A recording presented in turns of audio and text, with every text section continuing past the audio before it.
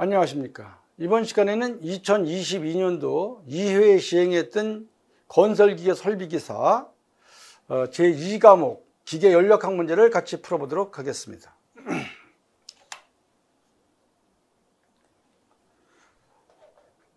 1번을 보면 21번을 보시면은 어떠한 물질 1000kg 부피가 1.403m이고 이 물질의 엔탈피가 우리가 1344.8kJ/kg이고 압력이 9MPa라면 물질 내부의 물질의 내부 에너지는 약 몇 kJ/kg이냐. 이거는 이제 단위 질량당 에너지기 때문에 비내부 에너지를 말하는 거죠. 그래서 U는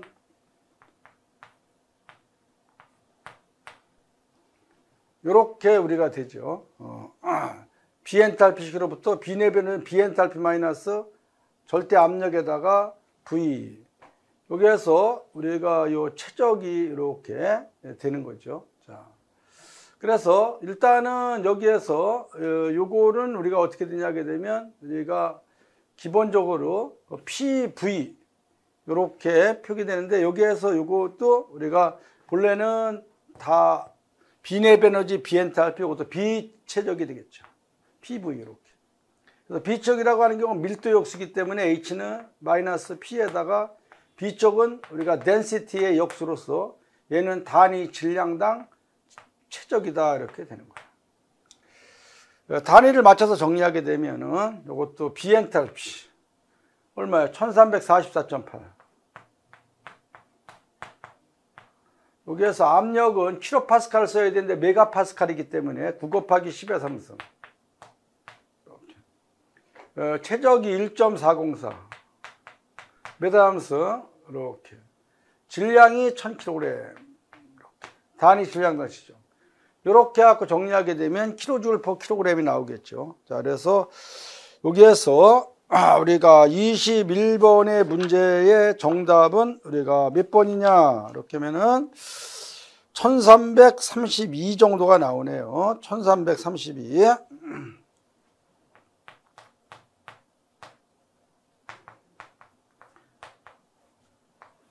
이렇게 우리가 표기를 해주면 되겠어요. 어? 비엔탈피로부터 비내변을 주고 하는 것이에요. 1번을 답을 합니다.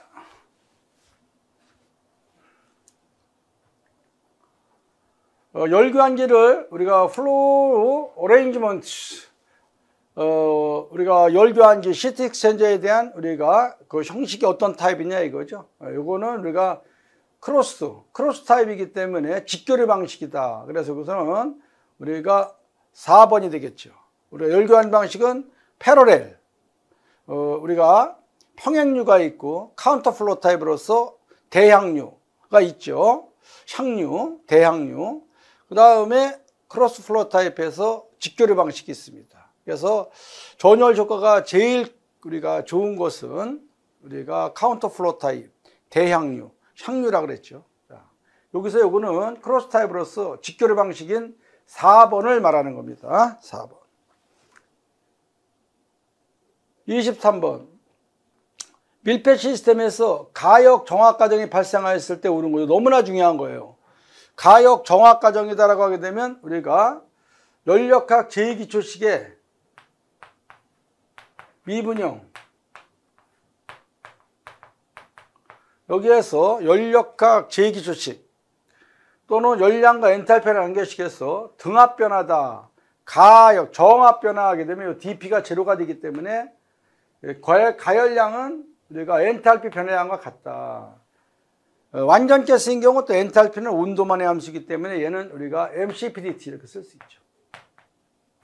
이렇게 온 절대 온도만의 함수로. 그래서 등압 변화인 경우 공급열량은 가열량은 엔탈피 변화량과 같다 이렇게 해서 답이 변함이 없는 겁니다. 그래서 델큐는 DH. 이거는 1번을 답으로 체크해 주시면 되겠죠. 이거는 등압 변화인 경우 1번을 답으로 한다.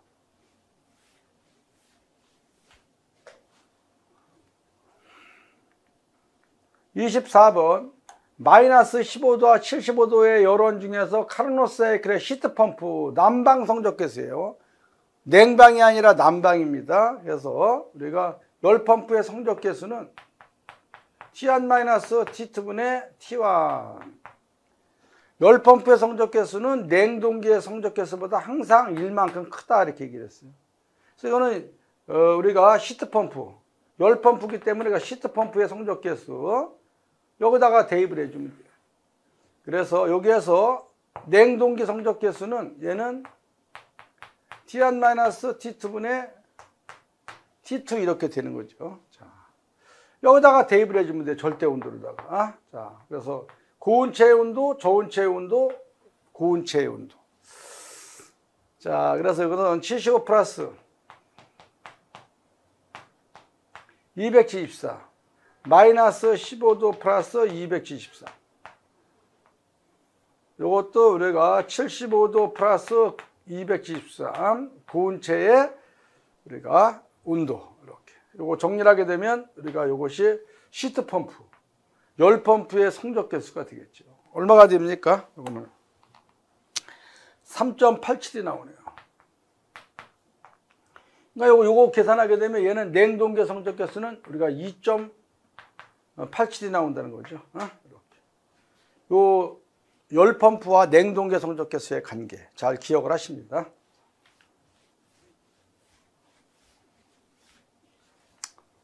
그래서 요 24번은 우리가 2번이 되겠습니다. 25번 문제를 보시겠습니다.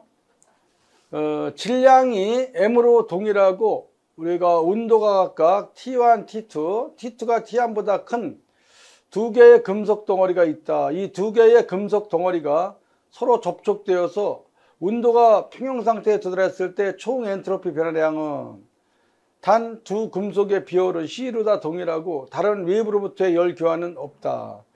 이거는 연력학 제0 법칙으로부터 미인 템퍼레이처 우리가 어, 평균 온도를 갖다가 계산을 해서 정리를 하게 되면은 이거는 3번이 답이 나오죠. 이거는 3번을 우리가 답으로 체크해 주시면 되겠습니다.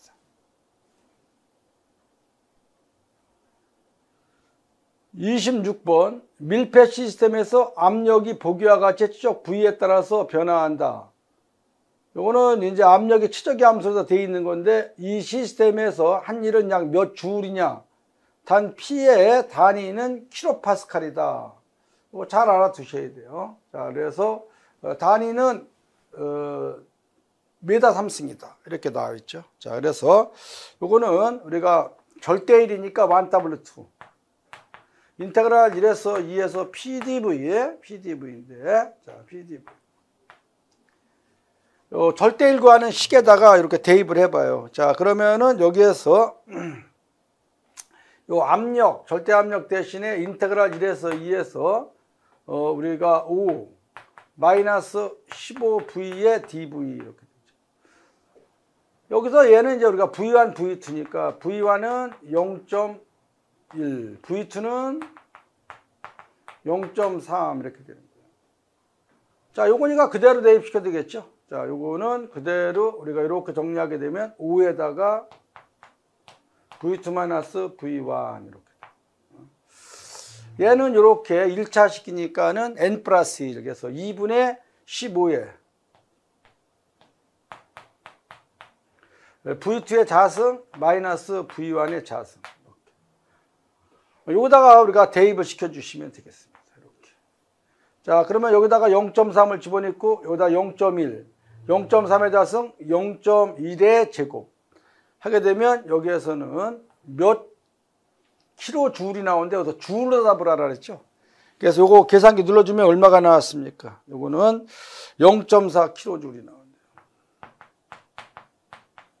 몇 줄이냐 그랬으니까 우리가 400줄이 되겠네요. 정답은 2번을 답으로 체크해 주시면 되겠습니다. 자, 여기에다 얼마를 집어넣어 여기다가 여기다가 0.3, 0.1 이렇게 여기도 우리가 0.3의 자승 0.1의 자승 이렇게, 이렇게 정리를 하게 되면 얘가 나옵니다. 절대일 치적의 함수로서 우리가 표기를 해주면 되겠습니다.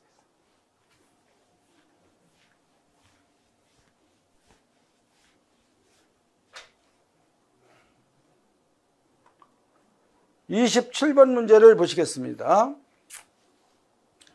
어, 용도 얼음 1kg이 열을 받아서 100도에 증기가 되었다면 엔트로피 증가량은 단 몇 킬로줄 per 켈빈인가? 얼음의 융해열은 336 킬로줄 per 킬로그램이고 물의 기화열, 증발열은 2264 킬로줄 per 킬로그램이며 물의 정압비열은 4.186 킬로줄 per 킬로그램 켈빈이다 이렇게 되어 있어요. 그래서 이러한 경우는 우리가 기본적으로 MCP 우리가 그대로 식을 적어도 이제 현열과 잠열에 대해서 정리를 해주시면 되겠죠. 그래서 이러한 경우는 MCP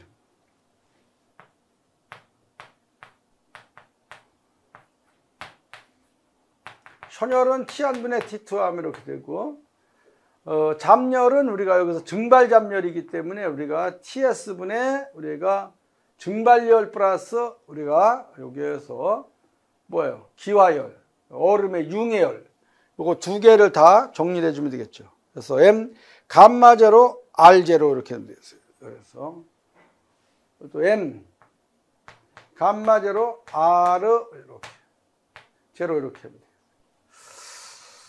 돼요. 대입해 주시면 돼요. 질량이 1이죠. 자, 1 곱하기 여기에서 요거는 우리가 물의 정압비율이니까 4.186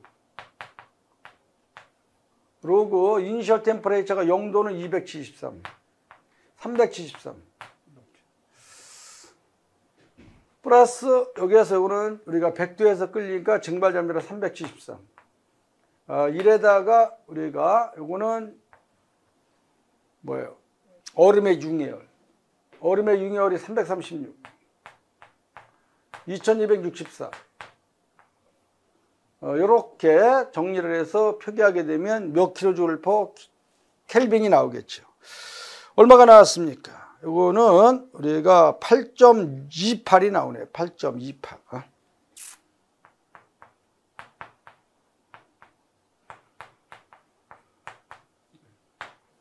어, 전 젠트럴 편하냐 이렇게. 그래서 이거는 8.28인데 8점 얼마예요, 이거? 그래서 하게 되면 이제 8.28 정도가 나오는데 그래서 여기서는 답을 갖다가 우리가 1번을 답으로 체크해 주시면 돼요. 근사적인 값을 체크해 주시면 됩니다.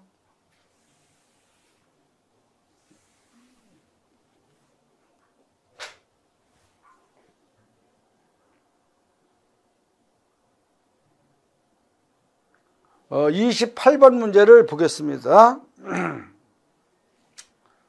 어, 피스톤 실린더 내부에 존재하는 온도 150도 압력 0.7메가파스칼인 공기 0.2kg은 압력이 일정한 상태에서 원래 체적이 두 배로 늘어난다.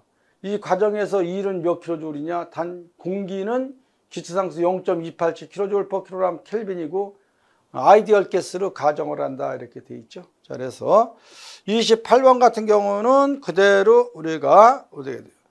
절대 일량 구하는 식으로서 1W2 인테그랄 1에서 2에서 PDV 어, P의 우리가 V2-V1 하면 돼요. 그래서 일단은 여기에서 보게 되면은 어, 거기에서 어, 압력이 지금 0.5 메가파스칼이다 이렇게 나와 있죠. 그래서 일단은 여기에서 우리가 V1을 먼저 구해야 되죠. V1. 어? V1. V1을 구하려면 어떻게 돼요?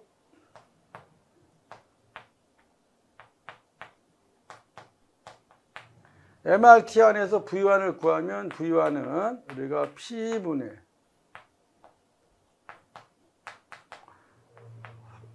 어, 질량이 0.2kg, 어, 0.287 공기에 대한 지장수는 187. 이니셜 템퍼레이처가 150이니까 150 플러스 273 이렇게 해서 압력은 몇 킬로파스칼이에요? 압력은 0.5 메가파스칼이니까 0.5 곱하기 10에 3승하면 킬로파스칼이 되겠죠. 이렇게. 하게 되면 이것이 우리가 가스의 이니셜 볼륨이 되겠습니다. 얼마가 나왔습니까? 0.0486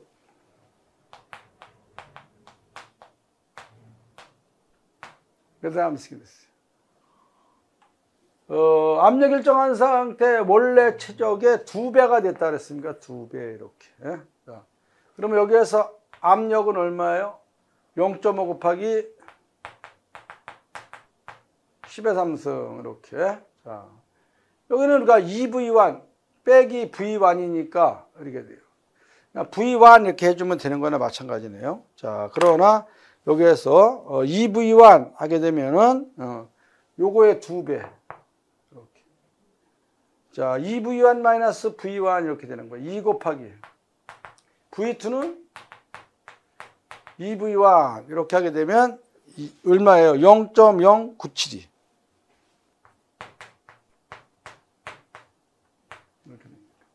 어, 요거는 요거 0. 우리가 097이. V와는 0.0486. 이렇게 하게 되면은 우리가 몇 킬로 줄 이렇게 나오겠죠. 얼마가 나왔습니까? 요거는 24.3이 나오네요. 이렇게 해서 여기에서 24.3 얼마요? 4번을 답으로 하시면 되겠습니다.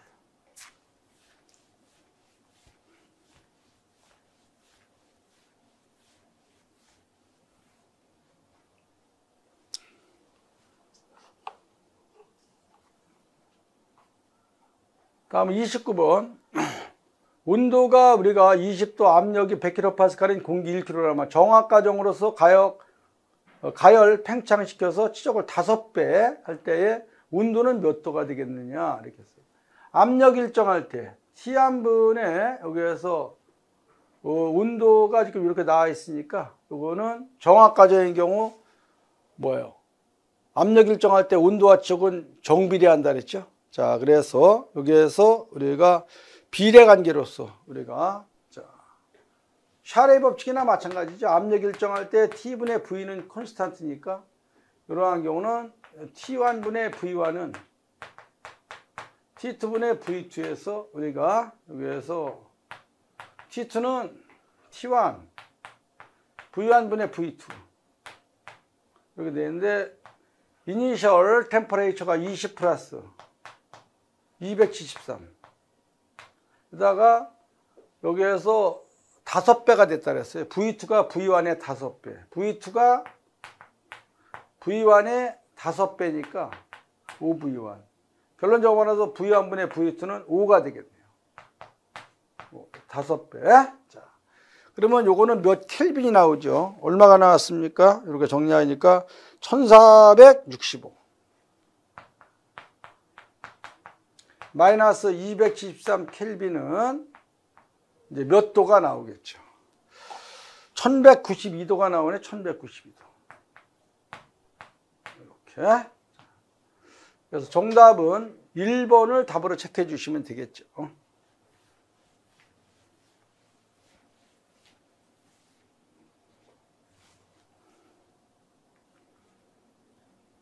자, 30번.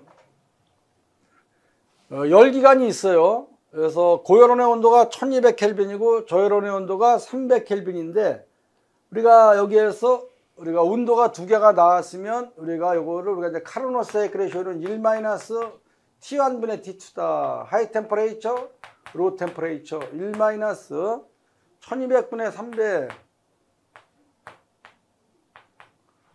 이렇게 하게 되면 우리가 어, 얼마가 나왔어? 0.75, 75%가 나오네요. 그러나 카르노 사이클은 양 열원의 절대 온도에 대한 함수로다가 효율이 구해지지만 이거는 실제 작동이 불가능한 ideal cycle이다 이렇게 했습니다. 그래서 일단은 그런데 여기에서 그림에서 보니까 여기에서 우리가 효율 관계를 한번 고려해 보는 거예요. 효율 관계. 자.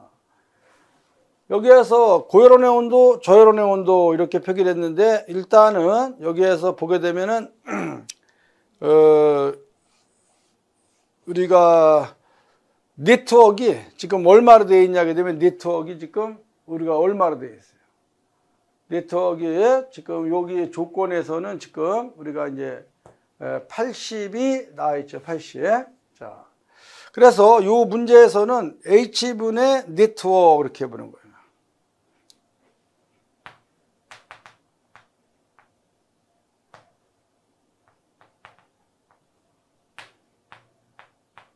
네트워크 이렇게 정리를 해보죠.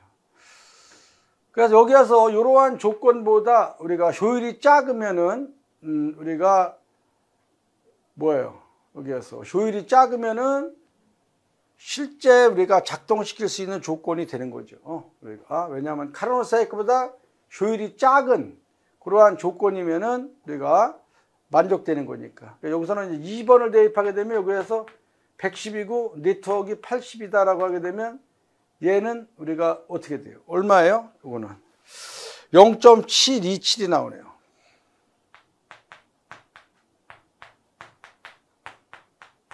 이렇게 하나하나 대입하게 되게 되면 자 1번은 80%, 2번은 90%, 우리가 3번도 어, 우리가 70, 한 8% 정도 되죠. 그래서 여기서는 지금 2번 2번은 지금 요거기 때문에 결론적으로 말하면 카르노세이크보다 효율이 우리가 작기 때문에 요거는 우리가 연락각적으로다가 요거는 부합될 수 있다 이렇게 보는 거죠. 그래서 여기서는 1번, 2번, 3번, 4번을 다 해보면 은 2번이 답이 될 수 있는 조건이다. 이렇게 판단을 하시면 되는 겁니다.